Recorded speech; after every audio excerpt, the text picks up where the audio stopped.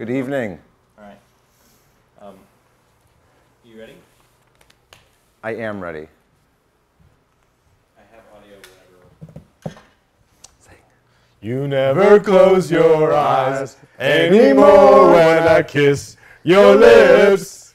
There's no tenderness like before in your fingertips. You're trying hard not to show it, baby.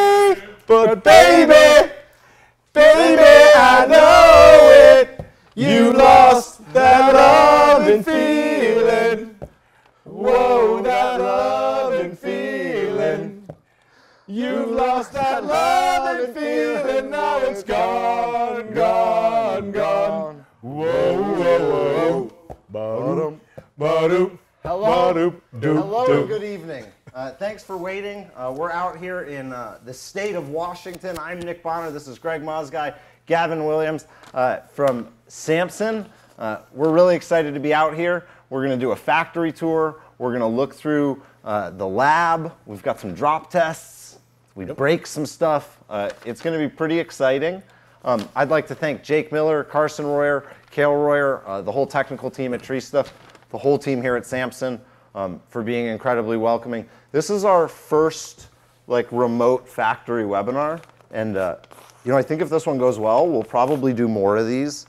Uh, I loved the tour today. It was really cool. They, we've got some really exciting stuff. We did a pre-recorded tour uh, this afternoon where we've got some video that we'll show you. It's really loud in the factory, so we weren't to be able to get good audio there. Um, but we're going to take you through and show you Arborist product all the way from fiber to how it's measured, um, how it's packaged, uh, the whole thing. Uh, Greg is the head of R&D. Yep. He's also an incredible singer. Um, he was jazzing us all up. Um, it gets a little hectic kind of at the ends, and we have, we're like, Greg, dude, you got to shut up, man. like, you're over here singing, and we're trying to get this stuff done. But uh, we opened with a nice little number there. Uh, Gavin, you are the head of business development and marketing For Arborist, yeah. for Arborist. He is basically the fun part of Samson. Um, and it was it was Gavin's idea to bring us out here and to do this webinar. So uh, big props to, to you guys. It's been fun. Uh, Greg, do you want to tell us a little bit? You have like a spiel you want to give? Yeah, so basically we're gonna, uh, like you were saying, we're gonna do a quick video showing kind of how rope is made. We'll talk a little bit about what makes uh, rope in general a fairly unique tool and some of the work that goes into us designing ropes uh, specifically for industries. Um, we'll give you a sneak pre- preview of the lab where we got all kinds of fun toys we get to play with. Uh, and then we're going to do some Q&A about just uh, Arborist product, some other uh, ideas we've been working on over the years to help make uh, the use of our rope tools better and easier and safer uh, for arborists. Awesome. I, I have a question um, first, so because I'm here. Uh, when you guys uh, look at making a new rope, when you um, kind of when you're coming out with the V series, right? You have a, the new Voyager. What are like what's the way that you approach that as a senior engineer here, um, and like how do you direct your team? Like, like what do you do like when you make a new rope? How's that process? I mean, the really the beginning of the process starts with, uh, you know, what's the design intent? Is what we talk about. So we say, what, how is it being used, right? I mean, a rope is a rope is a rope. Uh, in the end of the day, however, we make thousands of different types of ropes, which you got to see a little bit of in the plant today. Uh, the idea is we really want to design the rope to be fit for purpose for exactly what the user's wanting to do with it. So it, it's more than just being about strength, for example, or lightweight, because in the end of the day, we can make anything really, really strong. It doesn't necessarily mean it's going to work well uh, for example, for a climbing line. So really understanding the usage. Um, you know, we've built up a team over the years of, of engineers and technicians who really get in hands-on with our products, um, whether it's climbing up a tree, uh, you know, sailing overnight in a, in a sailboat race, or uh, you know, heading out onto a big uh, oil tanker and, and working with the crew out, out at sea. Really getting to know what the guys on the ground are doing with the product, what are their challenges in dealing with their current products, and how we can make that better. And at the end of the day, we build tools. very cool. Um, what were some of the things with the Voyager rope that you guys tried to address? Um, with the Voyager rope, we were trying to make something that just uh, handled a lot better in a in a climbing uh, for a climbing product. So trying to get around issues, you know, things like milking or, ho- or, or when it tends, you know, not hockling up, but you, sometimes you get that little half turn in there, it kind of jams up. So trying to get things that run a little better, feel a little better, um, and wear longer. So, you know, as we'll show you guys on the lab, we got a whole suite of tools that we're using on all scales, from fiber up to small ropes up to big ropes, of stretching it, rubbing it, twisting it, burning it. I mean, we've got a whole host of tools. And so trying to get that right balance of really improving something and making something that looks nice too. You know, I think at the end of the day, you, you want to be proud of, of the tools you're using. Um, so we wanted something that, that looks good and feels good and is proven to work. Awesome. Gavin, you have the Mercury here. You were telling me earlier uh, about how you worked on the color and the scheme for that. Do you Yeah. want to share a little of that? Yeah, absolutely. I mean, so like Greg was talking about the Voyager, uh, lots of different climbers have lots of different needs. So we make different kinds of ropes for each one of those applications. Uh, the new Mercury rope we're just coming out with is a good ideal, a deal of, of or a good example of how things go from concept to shelf. So for example, um, I was out in the field once and one of the climbers came to me and said, how come Samson doesn't make a kern mantle rope? And you guys know a kern mantle obviously um, is a parallel core construction of a nylon, uh, nylon core with a, with a uh, polyester cover. Um, and so I went back to the engineers and we actually make a couple different kern mantle static ropes. Uh, but one thing that's really, really cool about our lab back here is that every week um, they're all supposed to do a little bit of um, testing, a little bit of, uh, of going outside the box and doing something different. Well, one of my designers was actually looking at this and they were looking at the manufacturing process. They made a small tweak in how it's built and the result was that it ended up being having a softer hand and having a higher strength, uh, a break strength, which I thought was really amazing. So I took that along with the consumer feedback saying we didn't have a, a kern mantle rope, which we definitely do. Um, and so I thought, well, how could, what's the best way to commercialize this and get this back out into the marketplace? Um, so kind of as we were building that, that construct together, the other thing I noticed when I was out in the field is that uh, lots of the climbers, lots of the arborists we were seeing was wearing orange camo. So we actually took a rope that we had, but we tweaked and upgraded.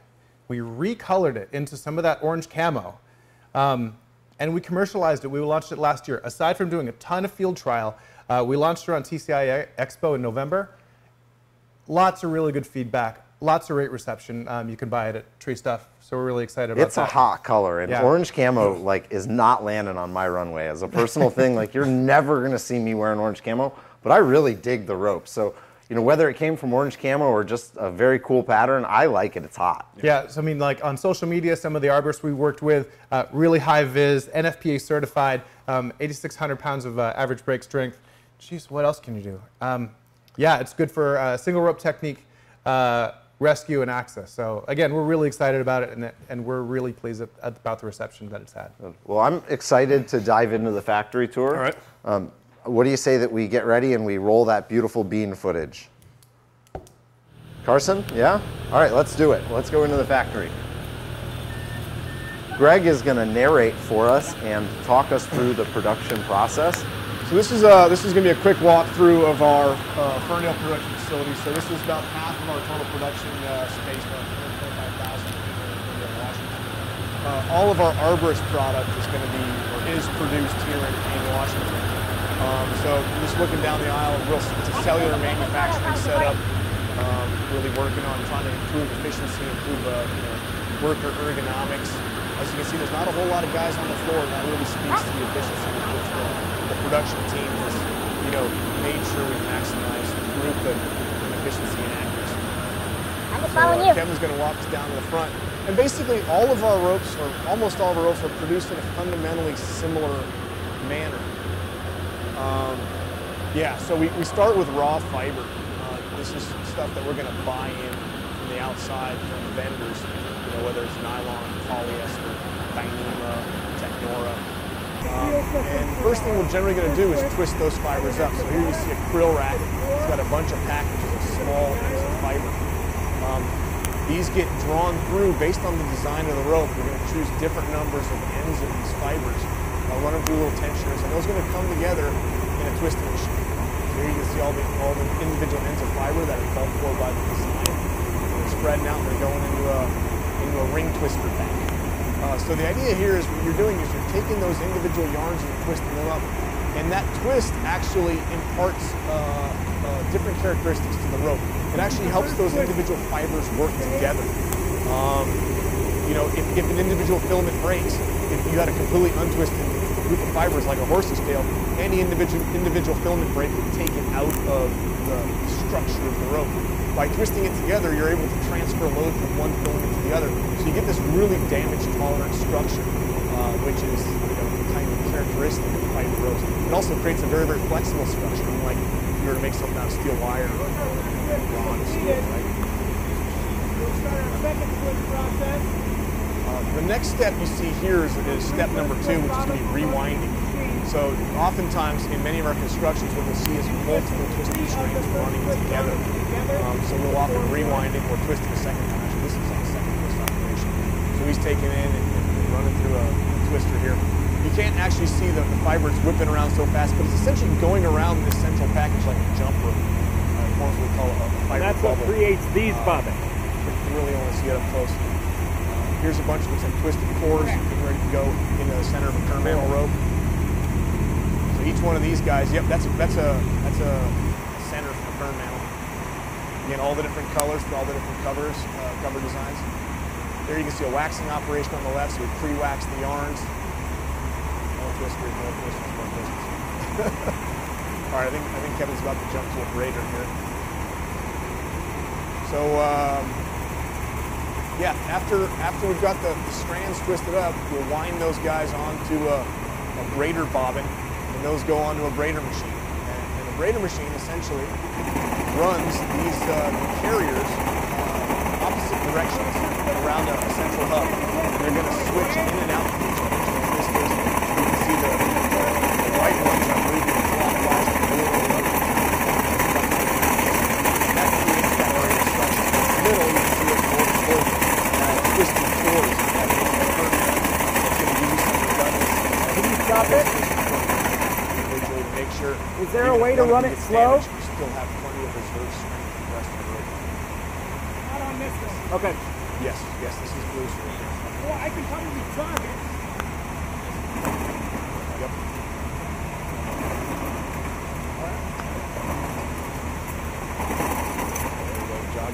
So yeah, this is a, you know, and that's basically representative of the process. It, it, usually, it, the the biggest differences end up being coming down to a matter of scale. You know, we have uh, we have braiders that make you know stuff that's two millimeters in diameter. We have braiders that can make rope that's 200 millimeters in diameter. So kind of really uh, of spans the gamut. with the bobbins that were almost as tall as us. Yeah, yeah.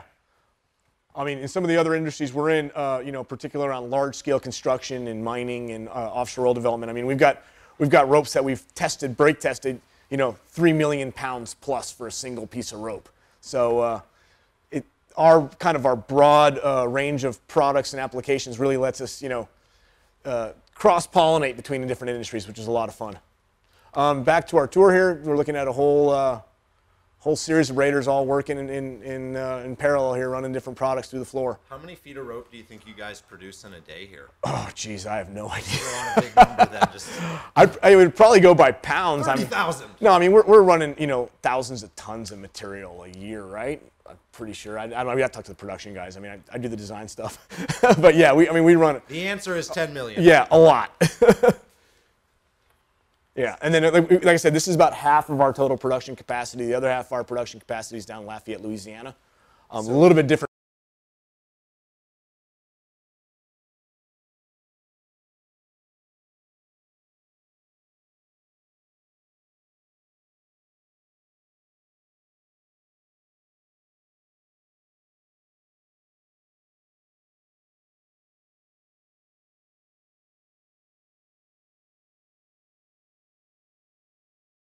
Get it laid out in a straight line. Otherwise, it's really hard to measure. So this is a, uh, a, a reeling and measuring device that puts the rope under a, a certain amount of reference tension and runs it through a reeling device to very, very accurately measure it and immediately runs into a poly bag. So this again is an example of kind of lean manufacturing technologies or lean manufacturing ideas that we've incorporated. So it comes right off the braider, gets accurately measured to within about an inch. The operator can then cut it off, heat seal the end, drops it into a bag, the bag goes in a box, and it's ready to ship. How come when I measure the rope with a yardstick, it always measures short? like I said, you got, you got to be able to put it under that, that little bit of reference tension. And, and how we define reference tension, or how the Cordage Institute, in fact, defines reference tension is you take the diameter of the rope. Uh, so if it's a half inch rope, you say 200 times that diameter squared. So in the case of a half inch rope, one half squared is one quarter times 200, so it'd be 50 pounds. So if you wanted to measure really accurately a half inch rope, what you do is you put it under 50 pounds of tension and then you measure it. And that basically gives you consistency. Because unless you do that, you're going to always, you know, how straight is it? Well, it's not quite straight. Um, this is a larger braider here now. So this is a, a big cover braider. Looks like we're braiding a, a, a big double braid. Looking at it, yeah, that's a super strong. So that's a big all nylon double braid. Um, we sell a little bit of super strong into arborists. It also goes into a whole lot of other industries. So it goes into fishing. It goes into you know big commercial mooring and tug applications, kind of all over the board. Judging by that one, that one's probably going into a to a big commercial marine application. That's probably what inch and a half there. How many other manufacturers uh, have the range that Samson does? You know, uh, I don't think there's any other U.S. manufacturer has the range. Yeah, there might there might be one manufacturer I can think of in Europe that that has the range, but I'm not even sure if they do. I mean, most guys tend to really focus in on, hey, we just do the small stuff, or we do the specialty stuff, or we do the big offshore stuff. You know, one of the things that's kept us really uh, uh, healthy over the years in, in economic slowdowns and speed ups is we really do have a balance of, of products in the portfolio. Um, and I think that's also great for our design. It really lets people see all those different industries, get ideas. I mean, we cross pollinate a lot. You know, I, I'm, a, I'm a sailor for a hobby. I like to go out and sail. But, you know, the ideas I get while sailing and being able to test out ropes on my boat, you know, oftentimes will feed into something completely different, like, say, hey, a different kind of rigging line or, you know, a better way to do a, a winch line for a, for a large vehicle. Um, With these larger scale machines, it's really it's a lot easier to see oh, yeah. uh, how the bobbins are actually handed off. Mm-hmm. I think with the smaller scale machines, you don't actually notice that the bobbin is like being passed through that notch Yep. in the bottom of the plate. Yep. And in a couple of these shots that we've just shown, um, you're able to see that really clearly. Yep. And it, you know, because it kind of looks like the three bobbins just spin together. Yeah, you're right. Same Yeah, Thing. yeah. If you were to follow one bobbin around, depending which direction, it's actually traveling. yeah, In a it- circle. Yeah, it goes in a circle, kind of figure eighting.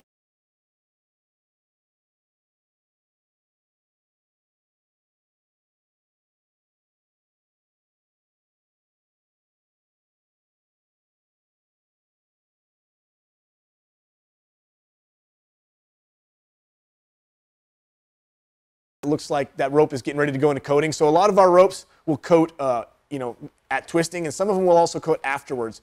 So here they're queuing up some ropes uh, to pull out of a basket, and it's going to run into a coating tank here. Uh, is this not the coating operation? Oh, this is more reeling and counting. I'm sorry, I looked in the wrong thing. Okay, yeah. So they're, again, they're they're reeling off under load, uh, measuring off a precise amount and dropping it into a box, uh, getting it ready for shipment. The setup for coating looks similar too, so sorry about the confusion. oh, we're getting there. All right. The fun, the fun part of doing live video. All right, now we're queued up for coating. Okay, you can see in the background there uh, a little tank of yellow. So yeah, here similarly, like as I was saying, we will take a uh, an already braided rope in this case, and we're going to want to apply a coating to the outer surface of it. You know, that coating has a number of functions. It's to it can change the coefficient of friction. It'll improve the wear cap- uh, the wear capabilities. It adds color for identification. It improves UV stability. So you got a kind of a lot of functions here. Uh, it looks like it's coming out of the coating bath, getting ready to go into a dryer. So we flake them into these big baskets, uh, and then it goes into a huge furnace to dry it out. Uh, all the leftover coating there.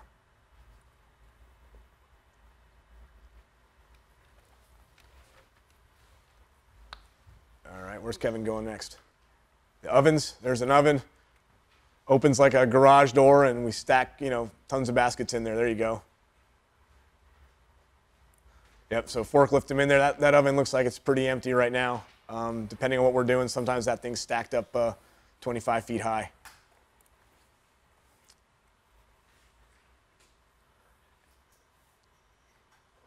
Yep, so big, big furnace.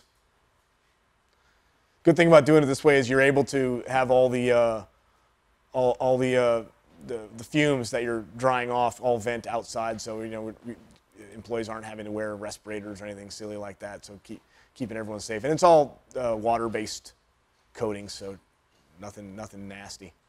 There's a rack of dye. a lot of ropes where we're really critical about uh, how the uh, firmness is on the jacket, for example. During braiding, we'll run it through a die like that to help control the diameter. There's Keith mixing up a batch of coating. So he's taking a batch of resin of one type and is going to mix it uh, with pigments and sometimes a second type of uh, resin. Um, we've developed a handful of various uh, custom coating formulations in-house. So again, we're looking for the, the coating that's fit for purpose. Depends on what we're doing. Yeah, so that looks like he's, he's pouring the resin right there, weighing it out carefully. Once he's got it all put together, he's going to compound it with a mixer and send it off, dispatch it to whichever cell is calling for it. So uh, yeah, Keith uh, uh, works primarily in that coating area, so that's, that's his thing. He's got all those recipes dialed and will be in dispatches to the floor, whatever they need for, for that particular production job. This is an inline dryer right here, uh, another piece of hardware that we've developed in-house and built. So this is, again, for certain types of products, it's advantageous to dry it uh, under tension. So basically the rope runs through this oven uh, held under tension and uh, you know has a long dwell time in there. It goes over a bunch of pulleys. And so goes in, goes in soaking wet uh, with coating and comes out perfectly dry, ready to reel up and ship.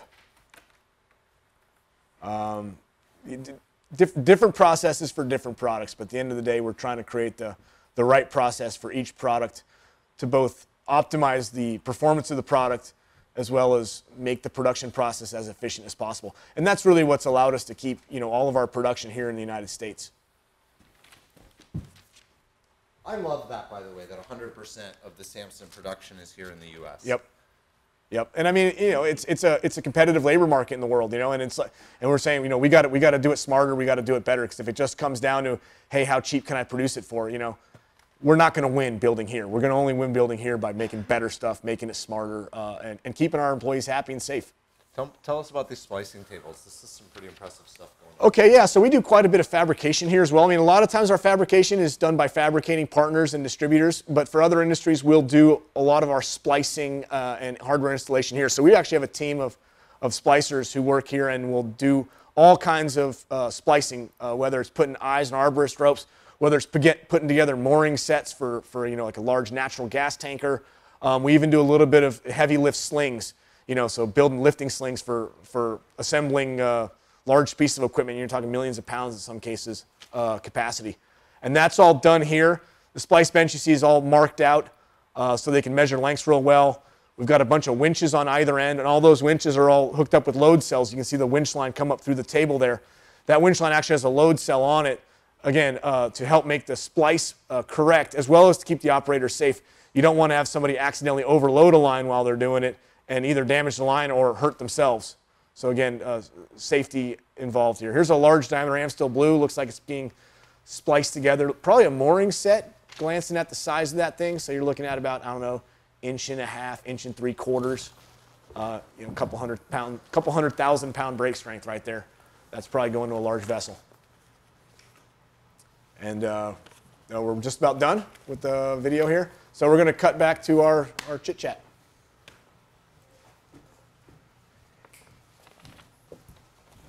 All right, that was uh, that was awesome. I loved it. Um, I think that the machinery uh, and like the complexity of the engineering that goes into these products that we rely on and use uh, up in the canopy is it's really impressive. You know, um, just, it's just just the sheer complexity of it. The stuff is amazing. Like the size and the amount of the tools. Um, some of those machines, and I mean I say this in a good way, look like they might be hundred years old. Like they've been built and maintained. Yeah and they have. We've got a mix of stuff. I mean, we just recently retired a machine we had in Lafayette that I think had, was about 95 years old. That's so and, cool. And we just retired that. And then we got stuff that's brand new. I mean, every year we're bringing in new equipment. Yeah. We're repairing the old stuff. We're upgrading it.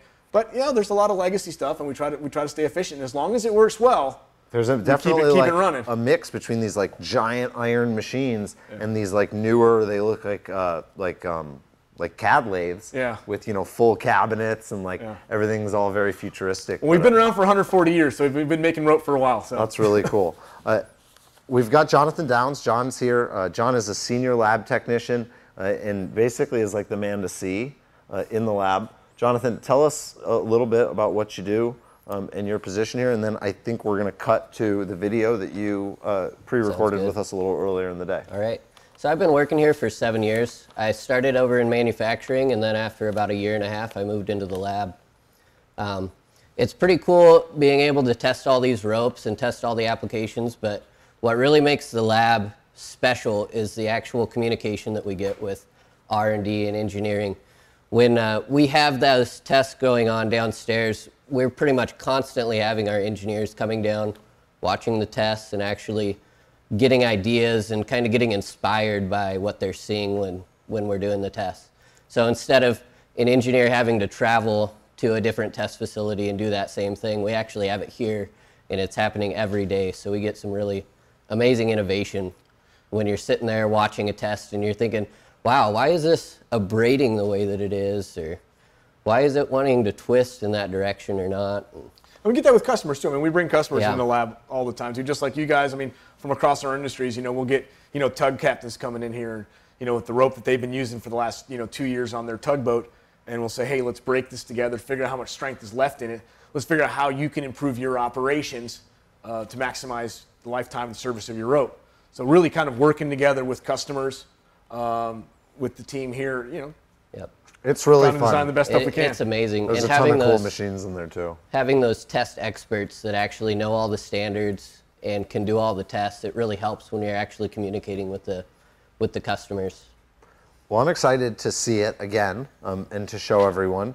So uh, let's roll the footage uh, that we recorded earlier, and then afterwards, uh, we're going to bring this panel and Gavin back, and we're going to do a Q&A. So if you've got questions for us, send them in the chat. Carson and Jake are making a list, um, and then we'll take those questions and we'll answer them live, and uh, we can, you know, let that discussion be kind of free flowing from there. So uh, let's roll the footage. Hey, my name's Jonathan Downs. I'm a senior lab technician here at Samson, and I'm going to give you guys a tour of the lab. So let's start it off. Over here is all of our yarn tests, and I'm going to bring through bring it through essentially like the whole process of testing uh, more climbing lines, and we'll go through fiber all the way to actual rope testing. So we're going to start with fiber testing, and I'll show you a couple of the machines. This is our AdMet tensile tester machine. This is just fiber tensile testing, and then we'll do some tension fatigue testing as well, and then some small rope testing.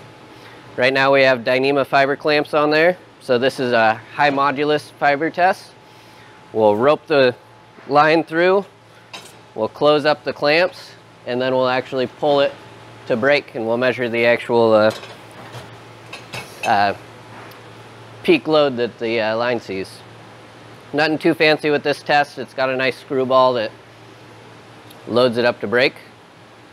And then we'll actually record peak load. We can actually, we can record uh, strain as well on this line, or on this machine. Can you show us one? An actual test? Yeah, definitely. Let me get a piece of fiber.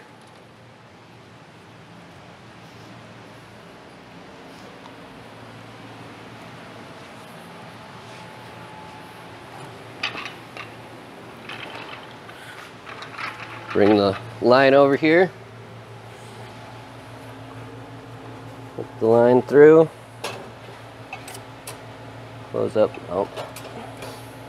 Let's see if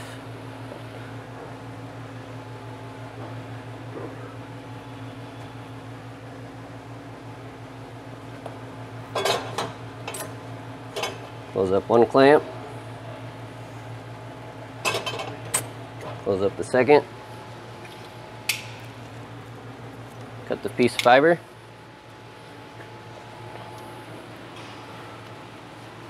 And you can see the pneumatic clamps actually clamp the fiber together. Then we'll come over here.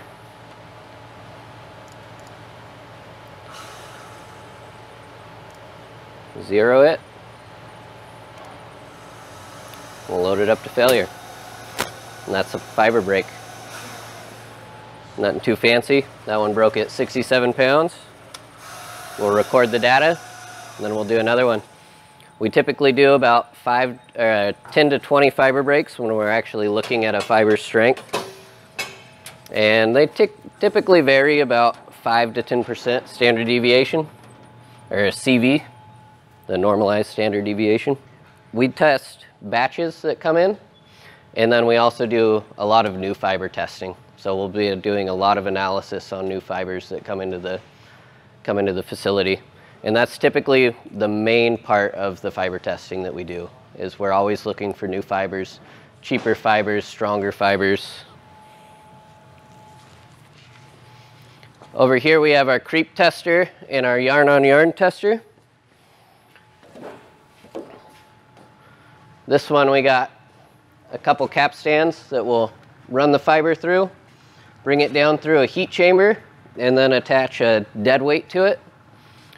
And what this is doing is it's putting the, the fiber under a constant tension or a constant load. And there's essentially three types of permanent elongation that happens. There's the stage one, which is a pretty fast, quick elongation where the fibers are essentially aligning. And then it will go into this phase two permanent elongation, which is all the fibers are aligned. Um, they're pretty much evenly holding that load. And this is the one that lasts a long time. This is what's typically happening when you're actually using the fibers or working with the ropes. And then at the end, there will be a phase three permanent elongation. And that's where the actual fibers will start to break and degrade in, in strength. And we're measuring how long it takes for this particular fiber to get to that phase three. Um, these, these permanent elongations are typically called creep. And that's what we're actually testing with this. So this is our creep machine. And over here's the, uh, the uh, heat box. So we can set it up to certain temperature in degrees Celsius. And then see, see how long it takes for it to creep to failure.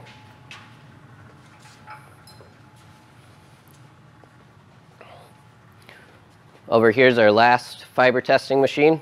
Our yarn on yarn tester. And what this is doing is we tie the fiber here, we wrap it around this pulley, bring it up through here and hang a dead weight from it.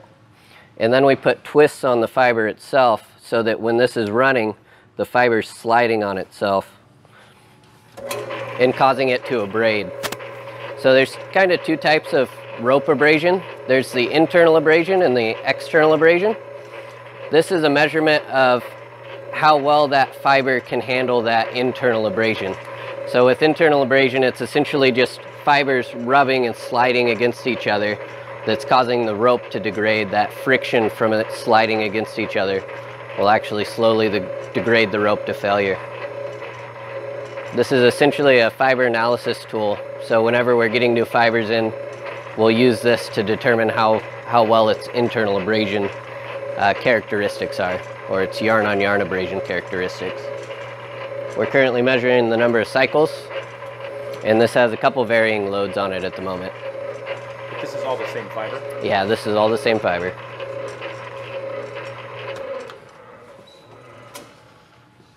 Over here we have our rope abrasion tester, and this is essentially an external abrasion tester. So we'll run a rope through here. I'm gonna grab a rope real fast so I can demonstrate it. Tie line off on this side.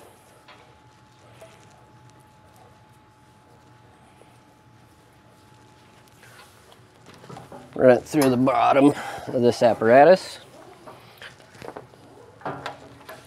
And then tie it off to this hydraulic cylinder.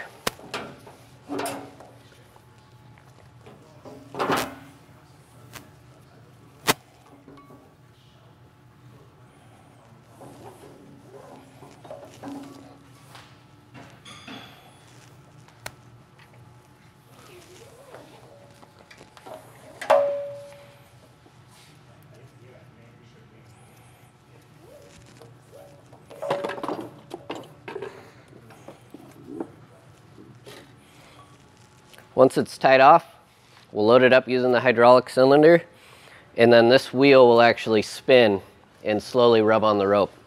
And it'll rub under that specific load until it actually fails. And that's how we measure how long it'll take for, for a specific rope to actually uh, fail due to abrasion. And what we'll use this for specifically is to actually compare one rope type to another over here. So load up.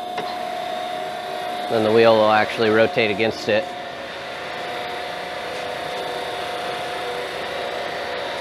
And that, what that's doing is it's just cycling around that bar and slowly wearing the rope against a pretty standard surface. Nice smooth surface.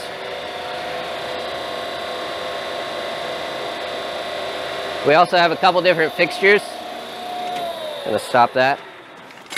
We can change the surface that it's actually running on, but typically that just makes this test a bit more aggressive depending on the surfaces.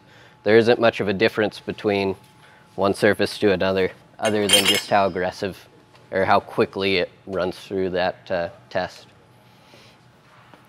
Now I'm going to move on to the tensile testers. These are our rope tensile testers. This one's the Tinius Olsen. And over in the corner, we have the Satec, our big 1.1 million pound tensile tester. These are both controlled by hydraulic rams, and it uses an Instron program called the Partner Program to actually run the test. Uh, we typically run at constant load rates, and we'll do a cycling of 10 cycles, and then we'll load the, load the rope to break. Um, almost always when we're testing the rope, we're using splices. You can see right here, here's a splice line that just went through some actual abrasion. And now we're actually gonna load that up and load it to failure. But they have the splices on them. Typically, every time that we test a rope, we do it to, or do it with splices.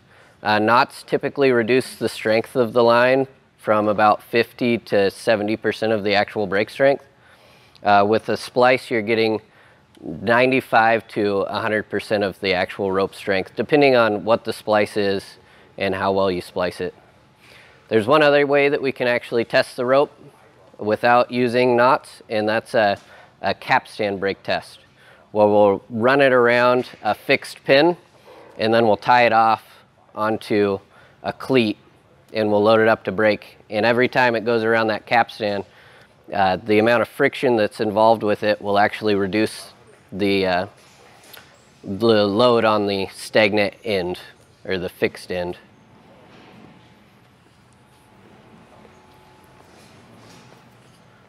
Over here we have our Satec tensile tester. This is our 1.1 million pound tensile tester. It's got a fixed crosshead on this side that we can adjust uh, the pin sizes to test different types of rope or different sizes of eyes. And then on the other side of the machine, we have our actual hydraulic ram. What makes this machine unique isn't the load that it can go to. There's many uh, tensile testers throughout the US and throughout the world that can go to much higher loads than this one can. It's the actual amount of stroke that it has. Uh, typically when you're, when you're uh, testing a rope, it has about 5 to 35% elongation, depending on what type of rope you have. And with that said, you need all that stroke to be able to actually pull it to failure. So this one has 16 feet of stroke, so it can use pretty much for nylon ropes, we can break up to about a 40 foot length. And for high modulus ropes, we can go up to 60, 70 feet and still be able to actually pull the line to failure. We got a couple linear extensometers, and that's actually measuring the rope or the elongation in the clear rope. So we'll hook these to the clear rope of the rope or the clear rope of the line, and then we'll do the cycling, and it will measure the elongation specifically in the clear rope. Uh, elongation essentially changes throughout the different areas of the line. The splice area and the eyes have slightly different elongation than the actual clear rope. And that's why we measure just clear the rope? clear rope. Clear rope is anywhere in between the termination points.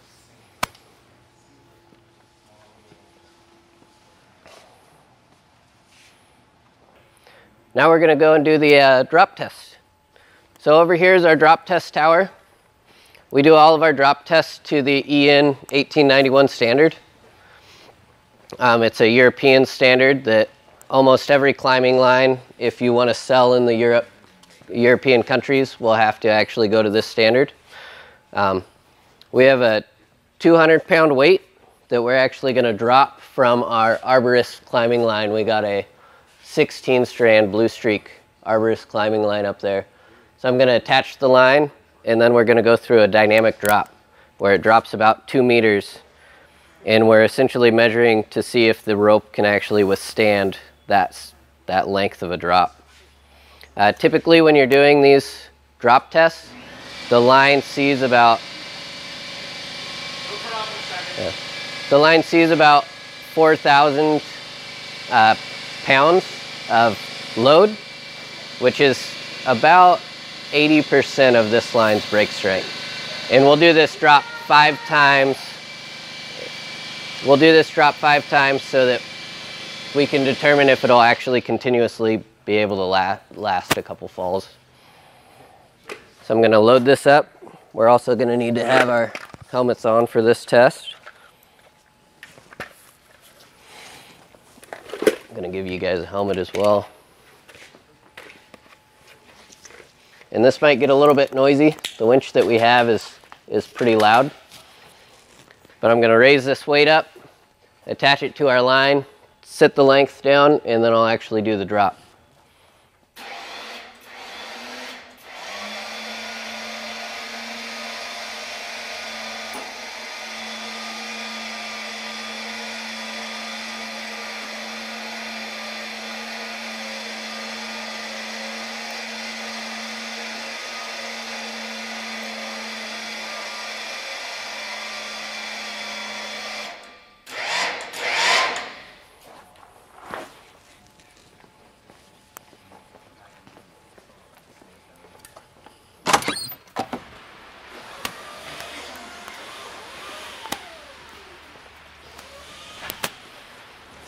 So I'm going to attach the arborist line to this weight.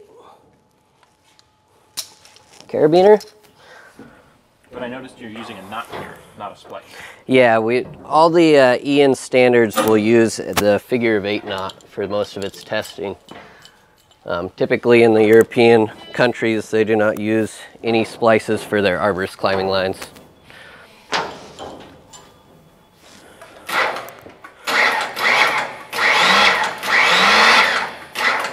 Gonna sit the distance, and then we're actually gonna pull it. Drop test!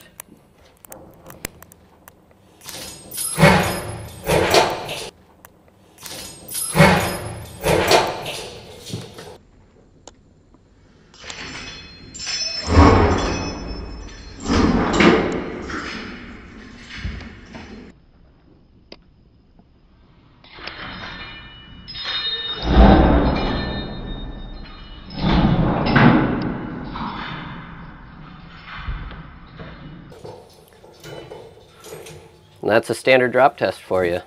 How much does the weight weigh? Uh, we saw a load of about 3,000 pounds, but the actual weight itself is a 200 pound weight.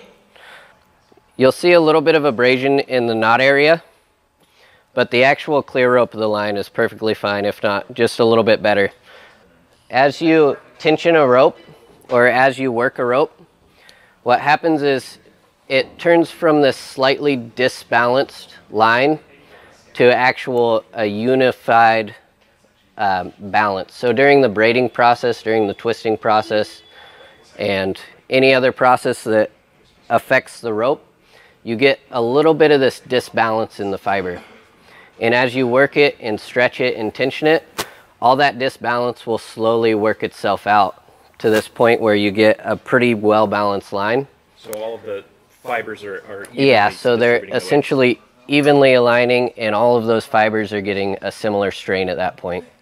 Once you get to that point, it's, it's essentially the strongest your line will ever get until it gets past that creep point where it's actually starts degrading the line from how much the, the fibers stretched.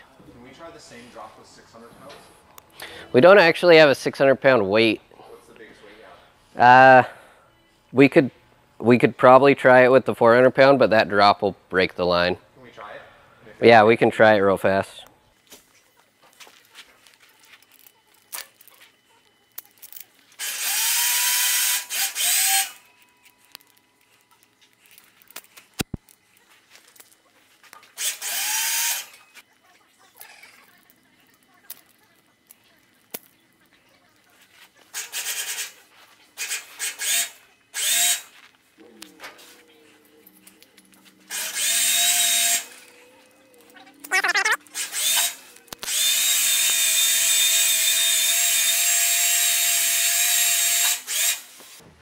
So we're gonna do the same drop test, but we're gonna use a 400 pound weight now.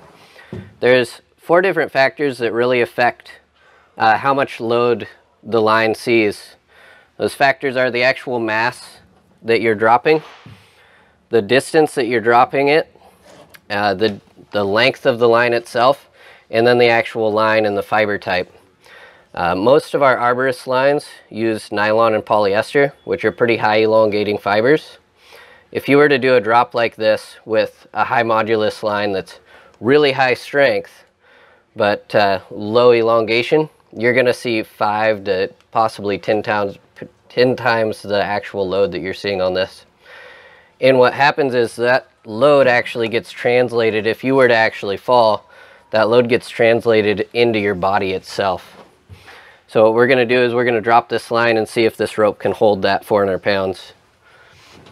And we'll actually see the peak load that the line sees as well, hopefully. Drop test! And this one will most likely break.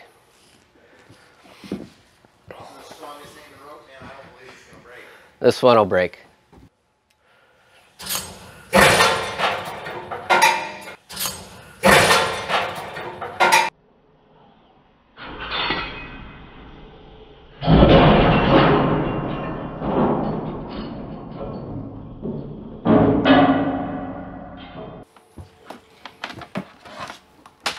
So that rope saw a load of 5,100 pounds before it actually broke. And if it were to hold that line, it would probably see upwards to seven, 8,000 pounds based on the actual distance that it dropped. If you take a look at it, you can see that the line broke right at the knot. That's because when you make a knot, you actually have some very high pressure points and you have really tight bends in the knot area and that's what actually reduces the strength of the line at the knot. The figure of eight knot's actually pretty good compared to a lot of other ones. Like a bowline knot will give you 60 to 70% of the actual break strength of the line. This one gave, I think that's close to 80%, 85% of the minimum break strength. That's our drop test. I loved the, the testing lab. I thought it was so cool. Um, I loved how John just knew that he's like, well, that's going to break it. I'm like, it won't break it. Just try it. He's like, it's going to break it. Um, I think that really speaks to your expertise. You knew right away uh, that that was going to work. So um, pretty cool. Uh, I know Greg wanted to talk about some uh, just kind of rope basics, some of the differences between the constructions um, and how they're manufactured. And then uh, I think after that, uh, we're going to do the Q&A. Carson's got a list of questions. If you've got questions about what was in the video um, or anything that you want to ask this panel of experts, um, whether it's about marketing and sales, testing, uh, research and design, um, or something that you could think to ask me, uh, we're here to answer it. So put those questions into the chat. Uh, we're making a list and we'll get it. Uh, in the meantime, uh, Greg, why don't you walk us through some of just kind of the differences between those basic rope constructions? So basically, uh, you know, as you guys saw out in the plant tour and a little bit in the lab, you know, we make a whole wide variety of, of rope designs, probably several thousand different rope designs that we sell, manufacture and sell. And it really comes down to a couple things in terms of being able to make the, the rope perform as you want it to. You're starting first with raw materials. Um, so you got a host of raw materials. We make ropes out of nylon and polyester and polyolefin. Those are the kinds of ropes we're going to be, you know, using as, as kind of a general, what people think of as a standard rope. Then we also go into a lot of the more high performance materials. So things like Dyneema, Technora, Vectran. Can you tell me about the differences between some of those materials? Like, what's the difference between polyester and polyolefin? Okay, absolutely. So, okay.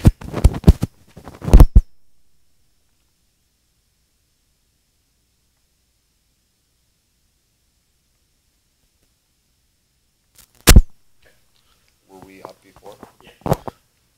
Okay, so difference differences between the fibers.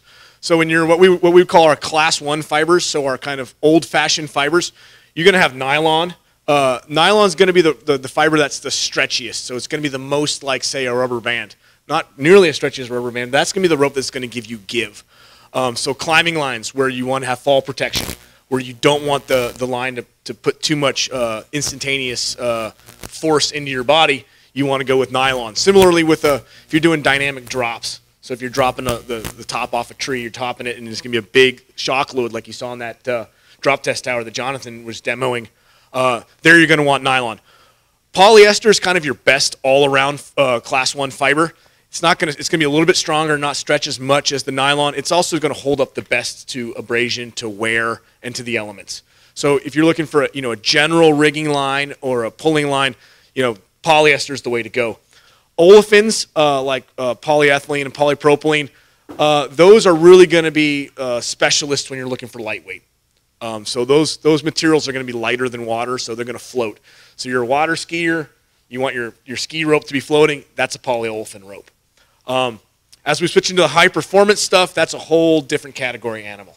So the Dyneemas, the Technoras, the Twarons, the Vectrans, you're looking at ropes that are going to be three to five times stronger size for size. And what are some of the differences, like, you know, what like Technora versus Vectran versus Dyneema? Okay, so a Dyneema is essentially a is a special kind of polyethylene. So I mentioned the polyethylene, which is an olefin. The Dyneema is like a very, very special polyethylene. It's highly, highly crystallized. So the molecular structure is a very long chain molecule and it's highly oriented. Um, in terms of strength per weight, uh, you're not going to beat Dyneema. It's going to be the strongest, lightest weight rope you're going to be able to find. And just for reference, you guys only use the good Dutch Dyneema here, Uh, well, the Dyneema we use is produced either in, in the Netherlands or in the United States. but not the Chinese. No, Dyneema. no. 'Cause There's two major. Well, there's no there's no there's no Chinese Dyneema. There's Chinese HMPEs. There's other other countries, other brands produce HMPEs.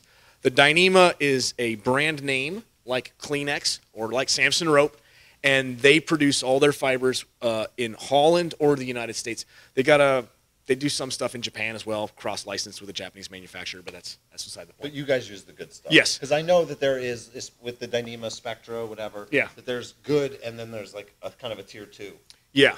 So no, we're we're we're we're, we're using the branded Dyneema grades as listed. Tier one. Yeah, tier one as listed on the website. So we're they make a whole bunch of different grades, and there's different grades for different purposes. So you've got your SK99s, your SK78s, your SK75s, 62s, DM20s. They have a whole host of flavors too, which we can go into details of. That's okay. We're putting the right one in the right job. So tell me, okay, so tell me, how is Vectran and how are Vectran and Technora different than Dyneema? Okay, so Vectran and Technora are going to be uh, about as strong as Dyneema in terms of size for size. They're a slightly more dense material. So they're going to lead to a slightly heavier rope. The big advantages those fibers have over, say, a Dyneema or another HMP like Spectra is that those are going to be much more heat resistant. So uh, Dyneema or Spectra being a uh, uh, HMPE polyethylene, it's going to melt, uh, you know, 130 C. Uh, something like a Technora is in fact a plastic as well, but it's such a interesting plastic, so to speak, that it doesn't actually melt. You cannot melt it in atmosphere. You can heat it up to the point where it will actually start to char. And that's where it singes. Yeah, yeah, but it won't melt. The only way you could actually melt it is if you heated it up in an inert atmosphere where there's no oxygen. So its melting temperature is higher than its burning temperature. So maybe you can uh, shed some light on this, but people often ask me, what kind of rope is this? And I'm like, I have no idea. And I'm like, but there's a couple ways to test it. And I, the lighter test has always been a good one for me. And uh, in my experience, polyester and nylon, uh, polyamides, all that stuff will burn. It'll actually smoke uh, and melt and catch flame. Yeah. Uh, Spectra, Dyneema, that kind of stuff will singe Yeah. and melt away a little. Yeah. Um, whereas the Vectran and the Technoras will only wither. Yeah, they kind of char. Yeah, and char, but not. They won't like actually. There's no melting. There's no catching flame. The Yeah. flame won't transfer from the lighter to the thing. Yeah. Are there any other like cool ways like that, like with a, or any other like things you can use to identify a material that you don't know? Yeah, I mean, absolutely. There's there's kind of I mean, we, we've got a whole host of tests that we'll do in the lab. If somebody sends us something and says, "What is this?" John can get in there. We can do analysis on it. Uh, my favorite thing to do if if I see a piece of rope um, and I don't I want to know if it's if it's an HMP. I mean, a lot of what we do is HMP, Dyneema stuff. If you take a cut end of it, like the cross section of it, and you just hold it up to your cheek, if it feels cold to your face, then it's an HMP. And wh- why is that? Um, because I said that uh, the molecules are highly oriented, so very, very crystallized. So it actually has a much higher thermal conductivity in the direction of the fiber than in the crosswise direction. Just like it's got a lot higher strength in the direction of the fiber. And so when you feel something, you feel the temperature of something, you're not actually, your body doesn't actually measure the temperature of the thing. Your body's actually measuring how well the heat is being sucked out of your body. So if I have a piece of wood in the room and a piece of steel in the room, they're both at room temperature. But if I touch the steel, it feels cold, right? And if I touch the wood, it feels warm. All right. So if you post if you post a picture in the next couple days, hashtag it Samson rope test. Uh, whoever has the funniest picture uh, or the funniest interpretation of the face test, um, we'll send a free hank of any Samson rope that we carry at Tree Stuff uh, of your selection, with or without a splice. But uh, tag Tree Stuff, tag Samson face test or Samson rope test, something funny like that. Um, and we'll we'll do something. I, I imagine somebody will have a good interpretation of the, the face test. It doesn't have to involve your face, but please keep it. Yeah, with if, if you if you have it come across like this, it doesn't work because it's not in the crosswise direction. This this high thermal conductivity is in the fiber direction. So you really need to cut a clean. Do you recommend using the tongue? You could try. Is the tongue more sensitive than the cheek? I, I go with the cheek myself. The I mean, you, I mean, you know, you could try the tongue. Maybe the back of the hand. back of the hand, Under, back of the hand works well. Yeah, the you, armpit is nice. Is sensitive, right? Maybe it's the Samson armpit test. Uh, anyways, uh, I like this. Let's see. Share your experiences. Cut a piece of rope. See if you can detect the coldness from the highly crystallized structure of the uh, high molecular weight polyethylene materials. Very cool. So that was we we did a little bit of the material. I think we covered Vectran, we covered the Technora, polyester, all that stuff. Yep. Um, tell me a little bit about some of the differences in uh, construction: 12 strand, 24 strand, 16 strand, um, kernmantle, Absolutely. some of that stuff. Okay, so you know, um, if you look at the history of rope, I mean, rope's been around for a long, long time. Uh, about as far back as we can go in the archaeological record, people have found rope. Um, you know, go to an Egyptian pyramid tomb and you find three-strand rope that looks almost identical to the three-strand we produce today, slightly different materials. So I mean, rope, rope's older than the wheel, newer than the sharp stick. It's been The around for a tree, the tree guys that are using three strand rope look just like those people in the tombs too. Um, the biggest changes over the, over the over the history though is in, in, in industrializ- industrialization was the tools and the machinery to produce the rope. So that's where braiding came in. Braiding came in in the 1800s uh, with the Industrial Revolution. We started to make more complex machines, so you can make these much more complicated, finer designs. And a lot of the development of rope structures has been intimately linked to the development of the tools that make them. Um, in terms of functionally how you're going to use those ropes, um, single braids are going to be, you know, your best, like a 12 strand. like a 12 strand rope. true blue. Yeah, it's going to be the the simplest ropes to use. You, you're, you're, it's easy to splice. It's easy to inspect, so you can physically see the core, which is the load-bearing member. Um, easy to do a splice on it. They're kind of a great all-around rope. You know, in, in across the host of our industries, I say when in doubt, you start with a single braid. Um, when you start looking at things like double braids and jacketed ropes, those are going to bring a lot of advantages for specific things. So, talking about climbing, all of a sudden now you want a structure that holds a nice, firm, round shape. You don't want it flattening out. So, by putting a jacket on the rope, that jacket is actually there not to carry the load. That's what the core does. The core is what carries the load. The jacket there is, is there to kind of hold the whole structure together, to consolidate the structure, and to protect it. And that's where we got like kind of the first kernmantle rope, where you have the kern, which is the weight bearing part, Yep. surrounded by the mantle, uh, which was non weight bearing. Correct. But then you get into a double braid rope. The, the core is a kern, right? Yeah. And the braid is a mantle, Yep. but they're both weight bearing. But they're both weight bearing. Is it a kernmantle rope? We call it a double braid. But it, so it's not a kernmantle. Because that's how I feel. I feel like a kernmantle rope has to have a parallel core and it has to be core dependent. I think you're right. I think that's that's the industry standard for how people describe it. And that's the funny thing about rope. You know, it's really old and it's really universal to a lot of cultures and a lot of industries. I mean, we we hear across of all our industries, we will oftentimes have, you know, somebody in the fishing industry refer to something that somebody in the mining industry calls something completely different and it's the same thing. You know, or heck, we even have, you know, our, between our plant here in, in Washington State and our plant in Lafayette, Louisiana, we have things that we call differently, and it's the same thing. So it's, it, there's a lot of, you know, the matter of semantics, I guess. So, from an engineering standpoint, why is a 12 strand hollow braid more suited to be a sling material than a three strand rope or than a solid braid? Why don't we use true blue to hang our Port-a-Wraps? Absolutely. So, uh, so a 12 strand rope is is kind of gives you that really good balance of of strength and usability. So if you want it for something like you want a sling, you, you, what you're really focusing on there is you want something that's going to be strong and it's not stretchy. So for, for example, you say, why not use a three strand? The biggest challenge you're going to run with a three strand is the three strand is going to stretch a lot more given the same type of fiber. So there's really two things that are going to control your stretch. It's the raw material. So if you're using a nylon, that's stretchy versus, say, a, a Dyneema, which is not stretchy. But then also the structure. So the more you twist it, the tighter you braid it, you're giving up strength and you're making something that's going to be stretchier. Um, but you're offsetting that with how it handles. So in some cases, you don't want a really loose rope. You want a rope that's tighter and firmer.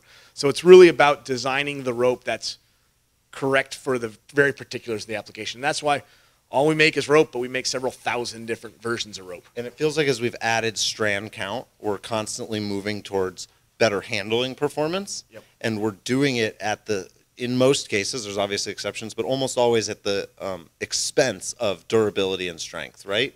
We go from 16 to 24, we lose a little durability, but we gain uh, the, that handling, right? Yeah, I, I- I think that's a fair assessment to make. Again, it, it also depends on how you define durability.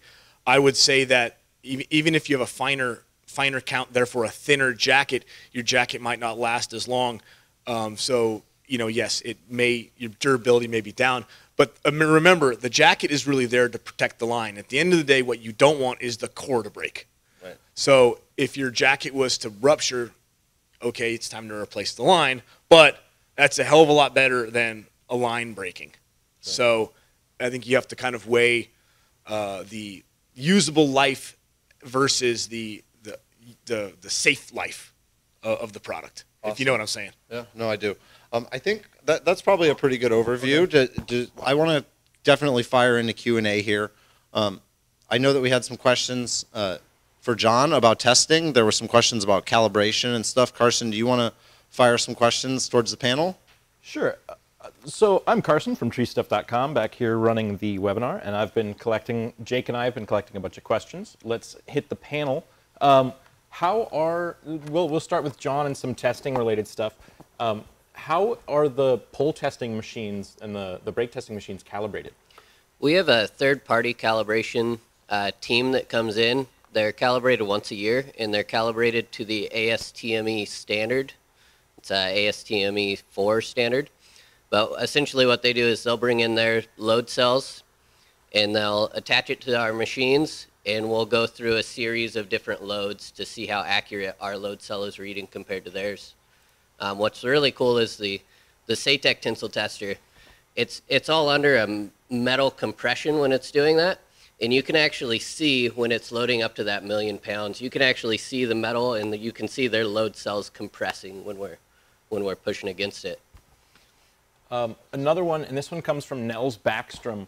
Is there a test? Um, I think this one popped up right around when we were looking at a lot of the abrasion testing. Um, is there a test where you add dirt or sap into the rope as part of the testing process? We've done a decent amount of testing when we, when uh, where we add foreign materials. Um, I don't believe we've done very many specific to the arborist community, but when we're talking about dirt, we've done quite a few uh, tests for the mining industry where we'll we'll add a lot of sediment and then we'll do like CBOS testing, which is cycling it over a sheave and see how much it degrades the line, but not a whole lot from arborist testing. We've also done a lot of chemical testing, and uh, like one of our oil, yeah hydraulic fuel. oil. One of our rec marine uh, customers sent in a request and asked if if uh, beer and blood degraded the rope. So we actually did some testing to make sure that beer and blood did not Hard work. degrade the rope. Yeah.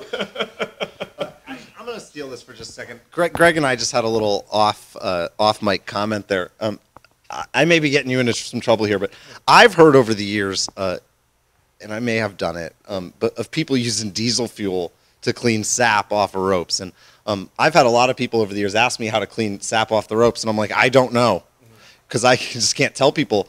But I whispered that to you, and you just said that's fine. So yeah, is yeah, for the most part. using diesel fuel to clean the sap off of our climbing. It, it's worth noting um, that how do I clean sap off of a climbing line was a question asked, and it has It's- it's also been asked all the time. Yeah. from everyone who's ever asked Absolutely. So I'll a give you the I'll question. give you the quick answer and then I'll give you the more in-depth answer. My rule of thumb with generally most of these materials is if it's safe enough to get on your hands, it's probably good to go on the rope. So I can use diesel fuel, like in I wouldn't. I, moderation in moderation, I wouldn't. clean to, to scrub sap off Yes, my rope. 'Cause it absolutely. was- diesel fuel breaks the sap down. I mean, it Yeah, gets rid of absolutely. Yeah. Look, I mean, most of these materials are. If you go into you go downstairs to our chem lab and you open up the, the cabinet, what are the chemicals stored in? Polyethylene bottles. Right. A Nalgene bottle is polyethylene. Your soda bottle is polyester. I mean, if it's safe on your hands, it's probably safe on the rope. That being said, if there is any question, if you're going, hey man, I'm just not quite sure of this, call us up. We have a, a, a, a host of application engineers and customer service people who answer these kind of questions all can day. just ask for Greg. Yeah, shoot us an email, call us up. We have a directory of thousands of chemicals. What's your extension? Uh, gee, what is my extension? Uh, I don't know. Great, I don't call great my own answer. number. gmozgai at SamsonRope.com. No, I don't. I don't. I don't call my own number. But if you if you go to our website, you can say, hey, "Let me talk to engineering." They'll redirect the question. Like I said, we have directories of thousands and thousands of tests on all of really our cool. fiber materials.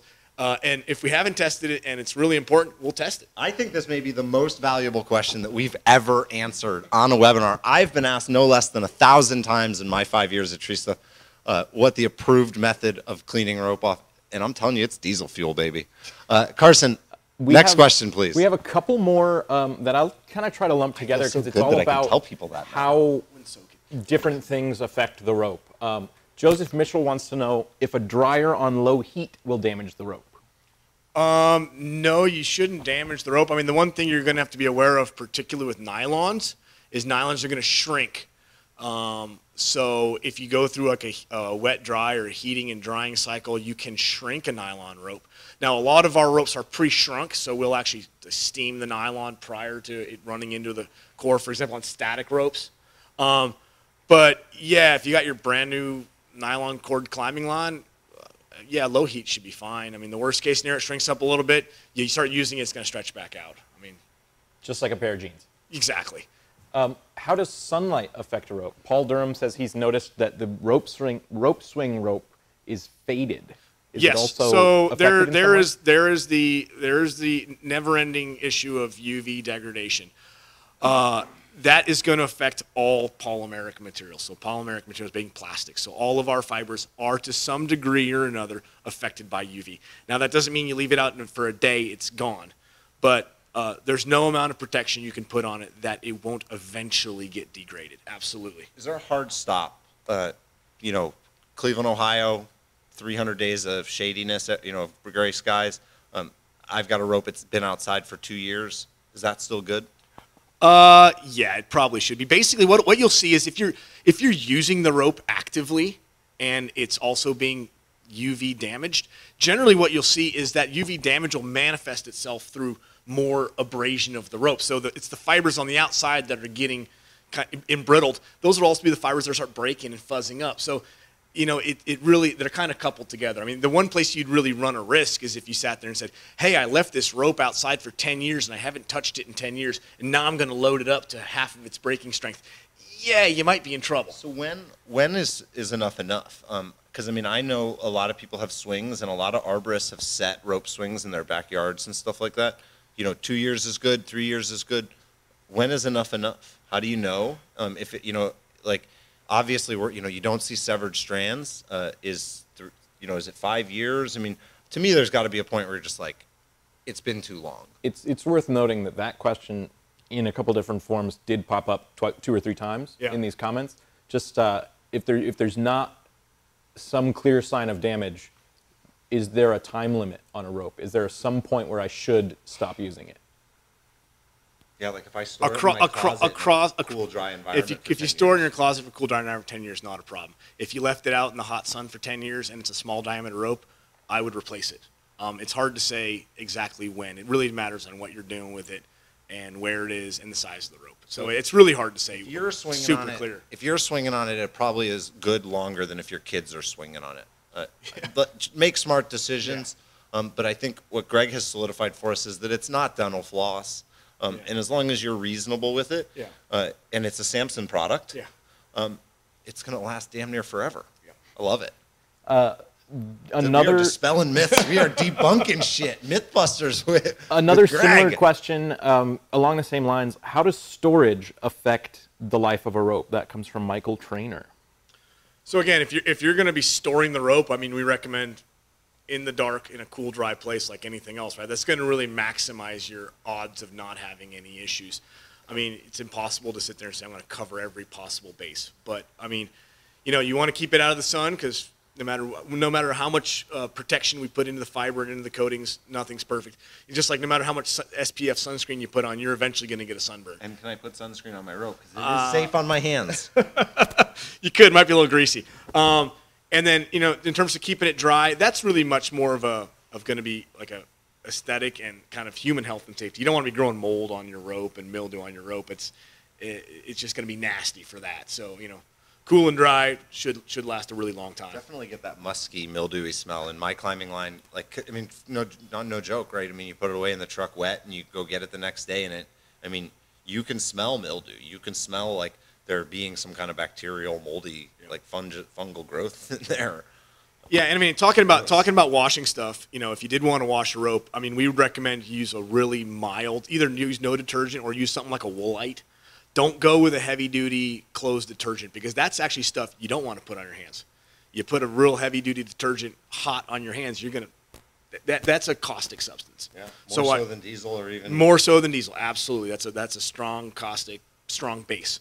So you do if you did get something on your rope and you say I absolutely want to clean this, I'd recommend getting something like Woolite, putting the rope into a bag, the kind of bag you know you, you're gonna put like your pantyhose in, like a mesh bag, and you put it in on a cold cycle with your Woolite, dump it on a cool dry, your rope will be just fine. Ju- I mean, polyester is polyester, same as your leisure suit, right? Eventually, pantyhose. yeah. Eventually, eventually, you wash it too many times, it will wear out. But I mean, you know, take it easy and use use mild stuff if you can. Very cool. Next question, Gar. People are really taking advantage of having rope experts here. Uh, Stephen Collins wants to know how freezing affects the breaking strength of a rope. Uh, it don't matter. So I, I want to expand on that question Yeah. because I'm actually now I'm intrigued. Um, I completely saturate my rope and then I freeze it. There's no expansion. We're not like pushing the the particles of the rope out. No. So in fact, what you're going to get on a micro level, the the polymers, the plastics actually get stronger the colder they get. Nice. So all these polymers we're talking about, with the exception of the aramids, are actually above what you call our glass transition temperature. So this. You know, we all, we chemistry all stuff. know what glass transition temperature is. So, you don't need to talk about so in like fact, yeah. So, I mean, it, if you're cooling the rope down, you're in fact actually making it slightly stronger. Don't go now double your loads on things.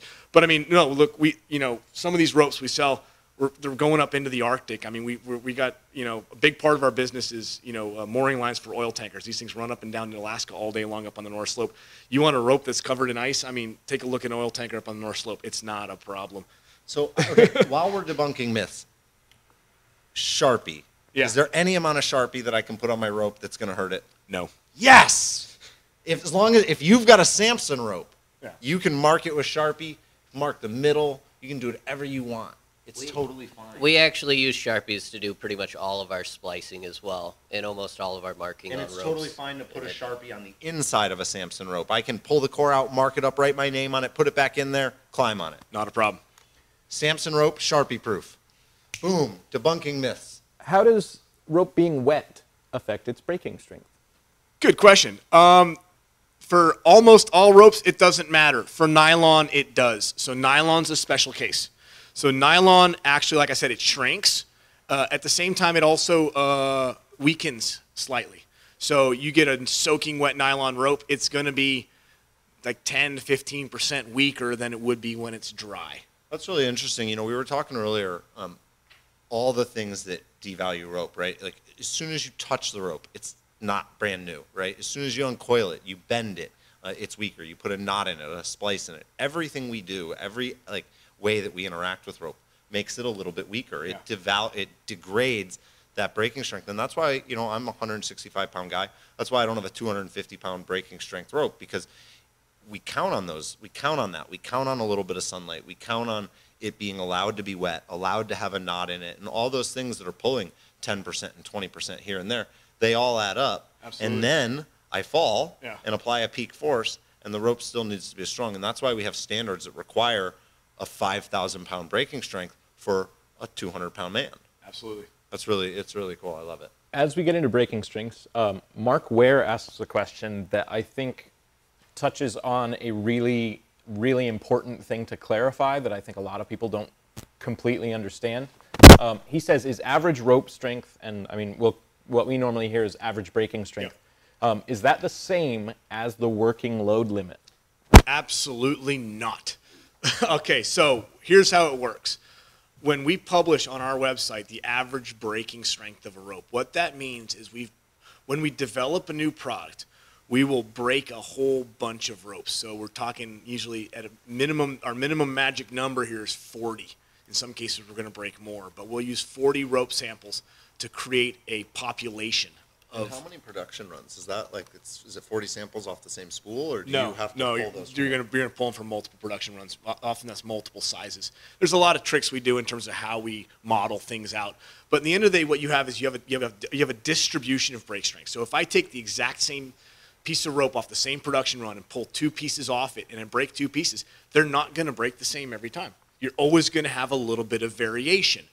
Um, so what we do is we publish what's called our average breaking strength. So that's that's literally what it is. That is the the average of all of them, and therefore it's the average of what we'd expect to see long term out of everything that comes out of the plant. Because we don't test every single thing we make.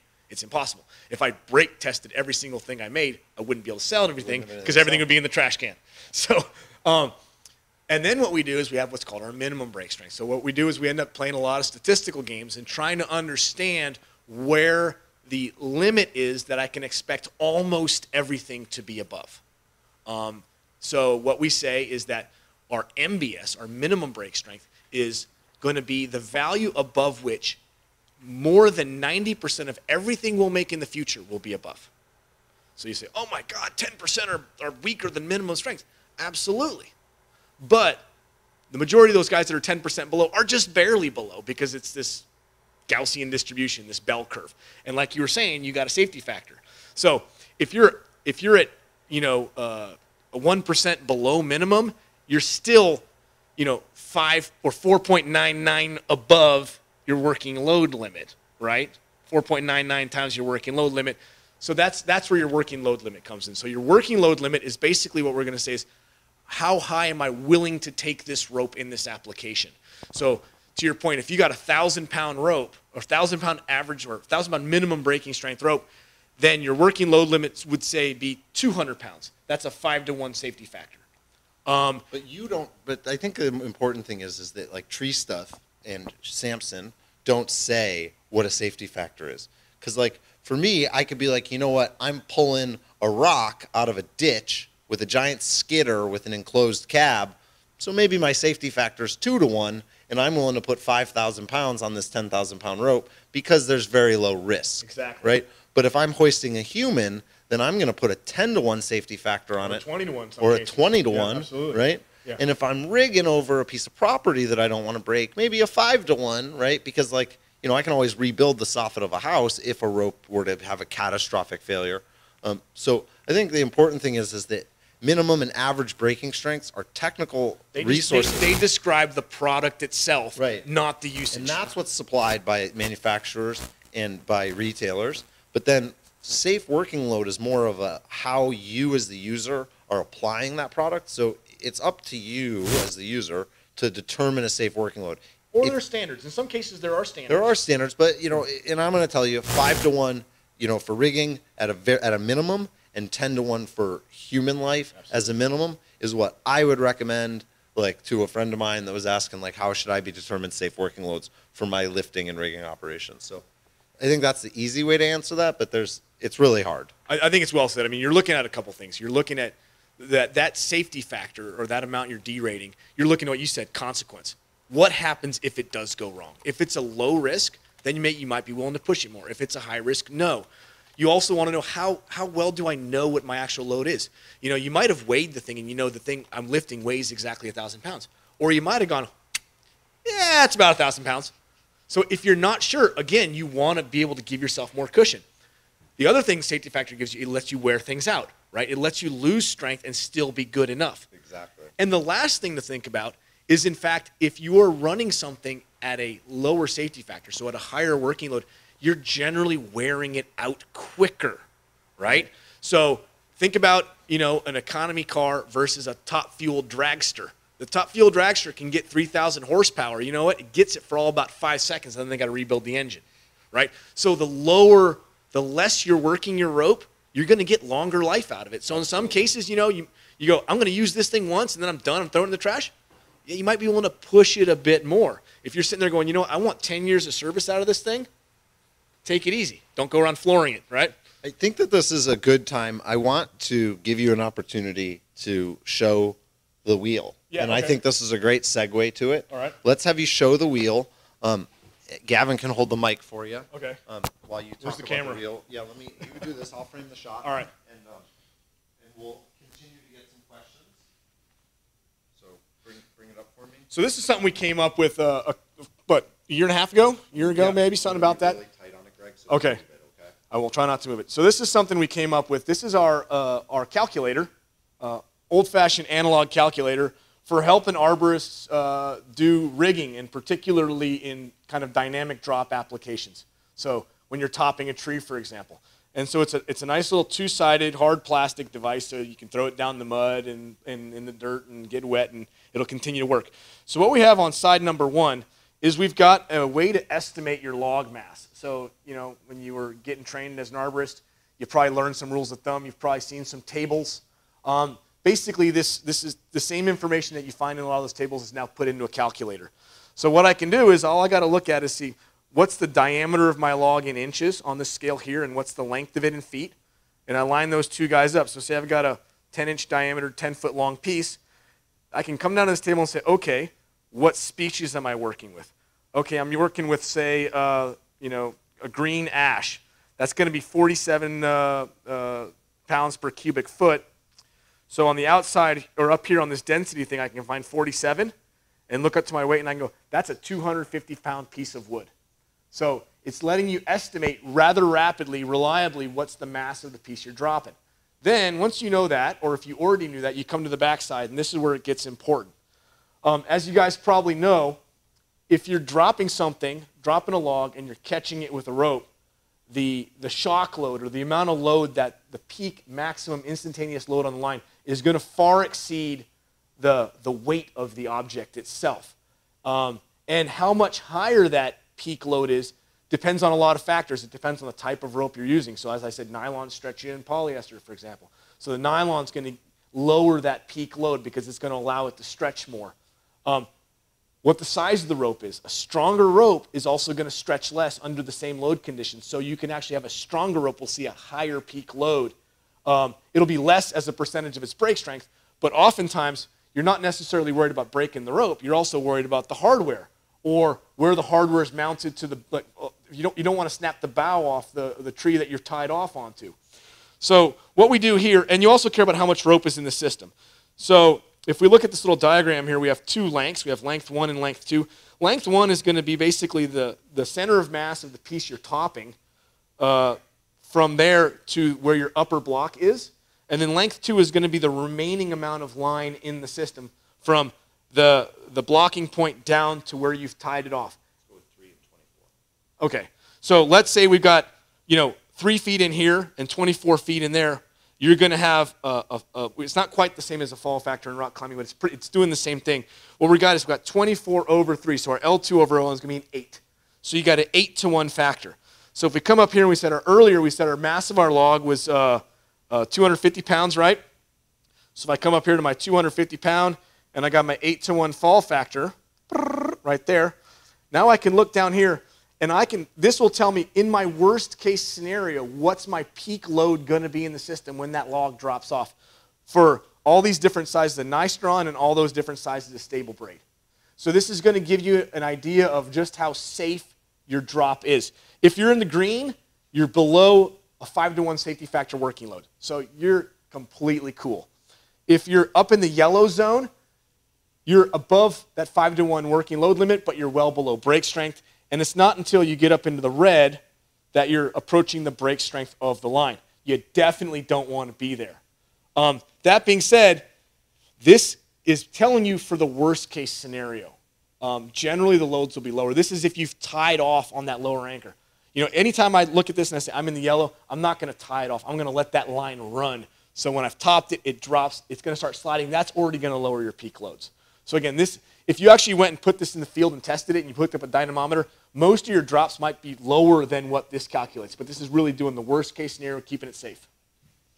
Gavin, uh, you'll have to restate this because they can't hear me. Gavin, tell tell us a little bit about the reasoning behind this product. Obviously, you guys are going to make no money uh, in any kind of scale selling these things. They're they're not expensive. Um, even if you sold one to every arborist, it probably doesn't pay for the time that went into it. It looks really complex. Tell us about why Samson put the effort into this. Yeah, basically this was a value add. I mean, considering that we have experts in the field, not only in, in arborist applications, but in engineering itself, this is something we felt would be beneficial to the market in general. So we spent a lot of time making sure this was easy to execute, easy to print, and then, as Greg mentioned, easy to carry around. You can throw it in your bag, you can throw it in the bottom of your truck, and it's just going to stay durable. We just wanted to make sure you guys had the best possible information to make sure you get your job done. Yeah, job done safely. So, you know, it's all, you know, it's all about being safe. You know, we developed this in the lab. We did a bunch of testing in the lab. Then we took it out in the field and dropped a bunch of logs. I mean, we, we, we took down like, I think like four trees over the course of a week, topping it section by section by section, instrumenting the heck out of the whole thing, videotaping the whole thing. And what we found is, you know, every single time we were, you know, the worst case, we never got to the worst case. So, you know, confident you're safe. So, but again, you still got to use your judgment. You still got to use your training. This just lets you do an extra level of checking, an extra level of safety to make sure you're using things properly. And it also gives you some insight into, you know, how the differences in performance of different ropes actually affect the overall system of what, what's happening. We're gonna uh, we're gonna bring these into stock at Tree Stuff, um, and uh, you know if you send an email and you reference this uh, within the next couple days uh, to media at treestuff.com with your address, uh, maybe we'll send you one. So uh, I saw a bunch of people saying they really wanted these.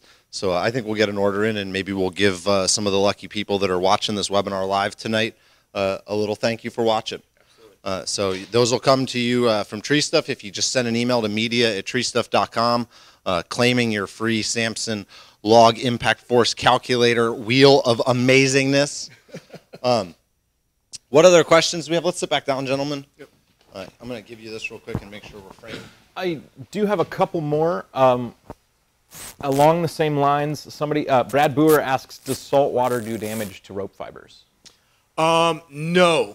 Well, so nylon, as I said, water water gets into nylon. So nylon is like a bit of a water sponge on a molecular level. It sucks the water up.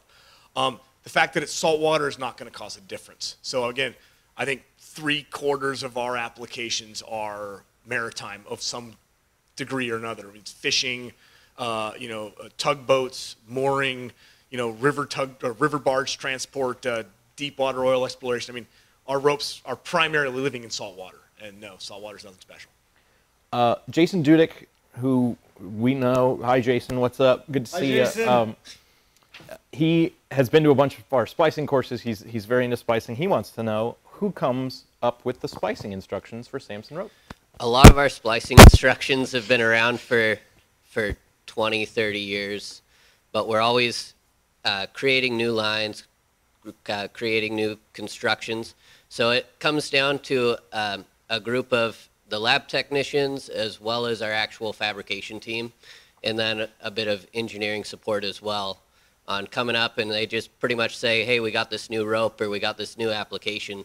How should we splice it? Or we need this splice that's half the length of our current splices. And we just sit around and we brainstorm coming up with those new splices. Test, test, test. Yep. And then we test to make sure that it's not slipping out and that it's meeting the actual specs that we have set for that line. I, I just make an important point about splicing. I, we get a lot of questions. People go, "Hey, I, I got a different way to splice my rope, or I got a better way to splice my rope." Absolutely. Um, we're by no means saying our particular splice method is the only way or the best way. Not at all.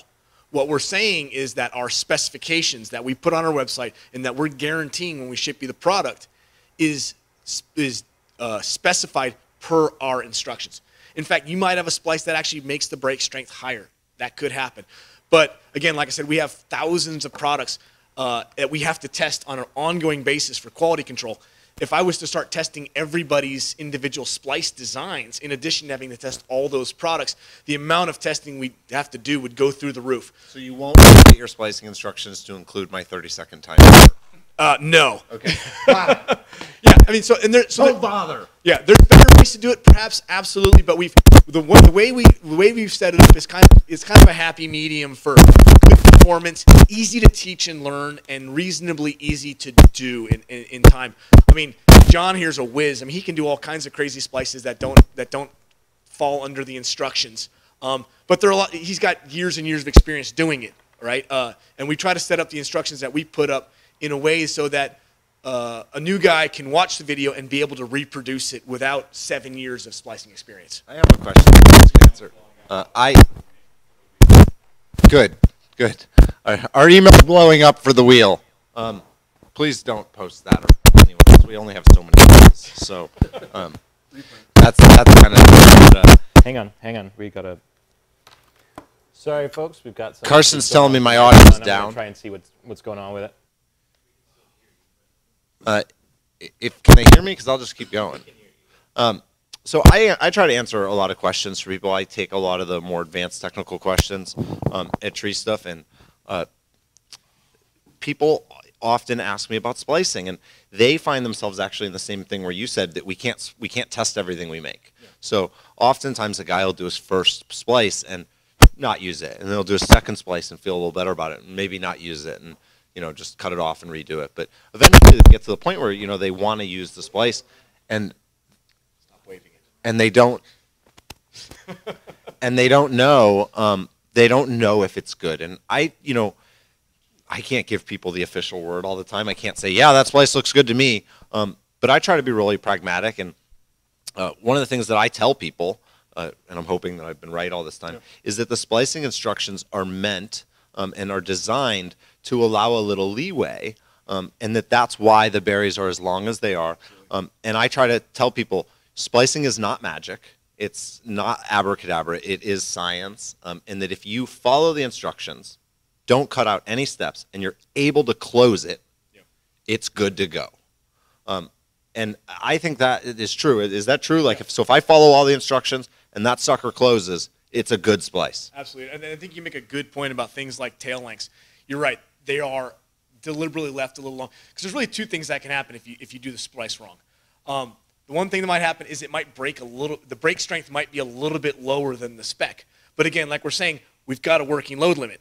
So again, if I'm lifting 200 pounds and instead of my rope being 1,000 pounds, it's only 980 pounds, you're still fine. So you're, you're allowed to have a little bit of leeway. That's why we have safety factors. Uh, the other thing would be, you know, did it slip out entirely? Is that, is that, that would be a catastrophic kind of thing. That's where your point about, yeah, we leave those tails a little bit long. Well, a lot of times people go, well, I, I, I do my tail shorter. I it did it with a three inch bury just- works just fine. You know what? It might have, but, uh, you know, do it every time and, you know. you- Right, yeah. because if you come up short on that, Yeah. um, then then you're basically SOL. So another myth, another question answered. If you're splicing a Samson rope and you follow all the instructions and it closes, you're good to go. Yeah, and our, and our specs, uh, like we say on the catalog, our specs are as spliced. So if the rope is spliceable and we have a splice instruction available for you on the online, then that minimum breaking strength is of the spliced rope, which is not something you can say for every manufacturer out there. A lot of times, if you look at, for example, uh, European standards with ISO test, what that says is, oh, the rope breaks at 900 pounds. Well, the splice causes a strength loss of 10%, so it's a thousand pound rope. That's the rule. Uh, a little bit disingenuous, if you ask me. Yeah, maybe so. Uh, Carson, what other questions do we have? Yeah, I know. Um, I think Gavin had some closing remarks, so I'm going to toss hopefully an easy one over to Gavin, and uh, we can close with that. Um, Elliot Thompson wants to know where they can buy some of that sweet Samson swag.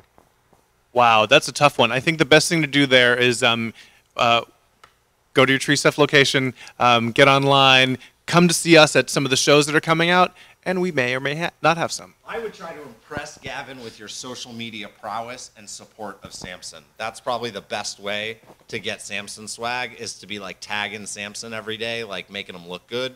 That's, actually, that's actually correct. Gavin says that's the way. So the only way is to become like a, a Samson advocate. So do it to it. All right, so yeah, so I wanted to close off the session with a few of the uh, uh, rapid fire questions. So this is for you guys, real quick. All right, so question. These are on the quiz. These are on the quiz, so I want to make sure everybody has them. Question number one: What are the three fundamental steps in making a braided rope? Twisting, winding, and braiding. Great. Which of the following factors affect the peak load on a line during a dynamic drop? I already explained that, didn't I? Sure hope so. No, what's going to matter is, is is the type of rope you got, how much rope you got in the system, how heavy your thing is that you're dropping, and the fall factor. And how it's connected. How is, well, no, no, the, how, how it's connected. Well, yeah, if you let it It, run. it all Yeah, depends No, if you're letting it connected with a run or. or No, not? Is it wrapped around a bollard? That's going to affect how strong the, the system is, but the peak load is going to be dictated by how much the whole thing stretches. So not quite. I I, mean, don't know though. A figure if you- eight knot might have a more of a dynamic response than a splice because mm. there's tightening in the knot. Yeah, okay, I'll give you that. All right, well done. What types of rope have a parallel core construction? A kernmantle rope. Uh, how many centers does ArborMaster have? It's got eight centers. Well done. Uh, ArborMaster and Mercury ropes have two distinctly different manufacturing processes. The center is twisted. The center for ArborMaster is twisted, and the cover is. Braided. Where's the wax finish applied in the ArborMaster process? Uh, at twisting of the first twist of the cover. Yeah, that was shown in the video of, of the plant tour, but we were kind of rushing through that. The answer is not on the outside. How many strands are in an ArborMaster cover? Oh, that would be 16. You are right. Uh, most climbing lines in our ArborMaster are made of these materials nylon and polyester. Normally, a rope break strength is based on what type of rope? It is on a spliced rope. Uh, where are the most common places that ropes break during a break test? I'm, I'm not sure if we went over this during the actual lab tour, but it's typically at the base of splice. And what happens at the base of splice is throughout the entire splice, you have a slight reduction in the actual uh, the strength of the line in that area where where your braid is a little bit tighter and you get some reduced strength but what makes up for it is you actually have more volume of fibers throughout that splice area. Right at the base of the splice you still have a little bit of distortion of those outer strands but you have no additional fiber to make up for that. So it creates a small little weak point right at the base of the splice and that's typically where you get a lot of the breaks And during so, testing. And so, John, that's why you'd say that you know if you want to make sure your, your splicing is as good as possible, where where you would spend the extra 30 seconds in a splice is in making a real nice taper at the tip. yep The nicer you can transition from having that bulk in the middle to having nothing, if you can smooth that out, really make that taper real gradual, that's going to maximize your strength there. yeah it's typically If you all about the taper Break testing your splices and you're seeing breaks in the eye um, or anywhere other than at that position, you're probably doing something wrong. Yeah, that typically means that you got some kind of really weak point somewhere in the eye. Because if you think about it, once the eye breaks off and goes around that pin, you essentially have two legs there. If uh, one of those legs are breaking, you got pretty much less than 50% of your break strength Mismatch weakened on eye, that part. uh, having the eye be too tight. Yeah, there's I mean, Yeah. with- particularly with double braid, double like class one double braid splicing. It's you know if the first time you're trying it, a lot of times it can be a little tricky how you're matching those two legs because you bring the two legs up and kind of run them the opposite directions and through. That's kind of the trickiest part. But Showing people how splicing yeah, good job. But I mean, yeah, if you could if you can master a, a, a class one double braid, I mean everything else is kind of easy. We have a great splicing series. It's fifty dollars or something cheap like that. The Nicorrea splicing series, where we show uh, full like full run throughs of all the splices with Nick, and he talks you through it. And then afterwards, uh, we bring in the big guns, Eric Vega, the quality and control manager for Rope Logic, and we have a full uninterrupted top down splice. And I mean, he's knocking out double braids in five minutes or less. Um, and it's continuous from a static camera, and it's really fun to watch. And um, people really enjoy the series. You watch it online on the Tree Stuff website. You buy it once, you own it forever. So it's a really cool resource. If you don't have it, I uh, recommend getting it. If you own the Nicorrea splicing series and like it, give me a heart. If you don't like it, give me a thumbs down or one of the angry signs. All right, almost done here. Um, after excessive wear, ropes see both internal and external abrasion. Uh, the main cause of internal abrasion is from fiber sliding, rubbing against itself. The answer is true. What standards do we use when performing uh, our drop tower tests? That would be the EN 1891, I believe. Typically, how many samples do we break before we set break strength? Excuse- Sorry. 40. Yeah, yeah, forty. Yeah. Magic number and statistics. What factors are needed to calculate a weight on a log? Um, you need you need to know the size of the log, so diameter and the length, and the species is going to tell you the density of the material. Knots are generally stronger than splices. False. Wrong. Yeah, depending on the knot you're tying, you can lose anywhere from like 20 to 50 percent of the strength of the rope. Depends on the rope, depends on the knot, but knots are never the strongest way to do it. True or false? During a dynamic drop, the peak load of the line sees the line sees is never great greater than the mass of the object. The answer is false. Uh, three more. The tension of a rigging on a rigging line may exceed the weight of the object suspended. You saw that in the drop test. I mean, you got when John was doing those drop tests, you're dropping a 200 pound load, and yet the peak line force is up over a thousand pounds, right, John? Is that what you're? Well over a thousand pounds. Depends on the, the scenario, but yeah. In a Kernmantle rope, the load is carried by the core, and in a double braided rope, the load is carried by 50% the cover and the core. And that's all I got. Actually, probably one last thing I'd say. Um, when you do see us out and about in the field at shows, whatnot, please come talk to us. We love hearing what you guys think about our rope. We love getting new ideas. Uh, we want to, you know, make the best rope we can so you get to get your job done uh, safely uh, and quickly. And um, yeah, we're really glad that the Tree Stuff guys came out today. Thanks a lot. Thank you, Gavin. I'd like to point out to everyone uh, watching that I pitched the idea of doing this factory tour to every hardware and rope manufacturer in the arborist business. Uh, Samson were the people that saw the vision in it, uh, saw the importance to the value of to you guys as the customers. Um, they're the ones that made it happen. They put the work into it. They exposed, I mean, essentially the leadership, right, of the team. I mean, I know he doesn't look the part, but Greg's the head of the whole R&D for the whole company. Um, they had these people here for us.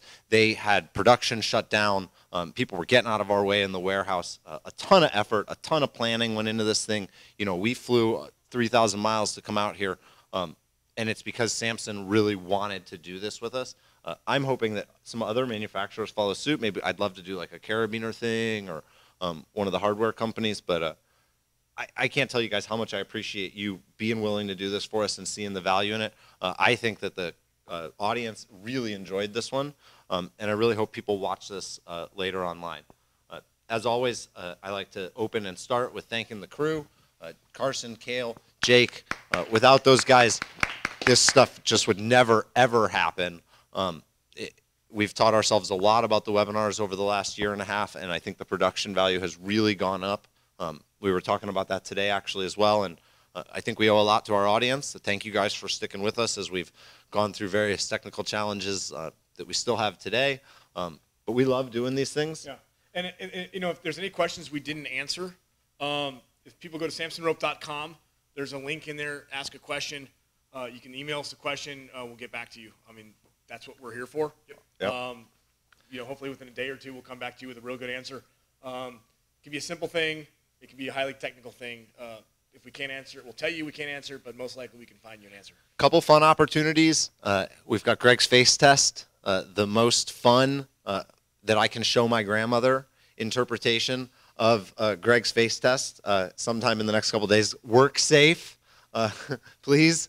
Um, we'll win a free Samson rope of your choice, anything that we sell on Samson. Um, and if you send an email in mentioning the, the wheel of weight, we'll get you sorted out with one of those. If you're watching this webinar, look at the date on your watch or your cell phone because if you send an email to media in three months from today asking for one of these things, you're not getting nothing, I promise you. Um, so please don't email me a year after this video was published and ask for something for free. Not going to happen. Um, do thank you for watching. Uh, please check out all these Samson products. They're all available on treestuff.com. 7% off every day with the coupon code online. Uh, and please visit fallenfamiliesfund.org. Uh, you can find out uh, more information about a charity that we've set up over the last couple years to provide direct financial assistance to individuals and families uh, that are affected by the loss of an earner due to their association or work in tree care. So that's a long way of saying that we provide short-term cash infusements to the people that um, are in a bad spot. So if you or someone you know has been injured or lost your ability to earn, there's an application there for you. Um, you can fill that out, and we can do our best uh, to try and help you out and stuff like that. So fallenfamiliesfund.org. Uh, 100% of all funds raised through that website or any of our fundraising efforts go directly to uh, cash grants or towards uh, us forming an endowment uh, for the organization. None of the administrative costs, uh, none of my time or any of the other people that work on those committees' time uh, is paid for or uh, in any way comes out of the funds that we've raised. So 100% of every dollar, not 99, 100% goes directly to an arborist or their family uh, that needs it. So really worthwhile thing. Uh, please do think about giving uh, and check it out. Thank you to Samson. Thank you to the crew. Thank you to our audience. Uh, you, you, can you do Danger Zone for me? Come on. You were doing it so good before. Close us with a song.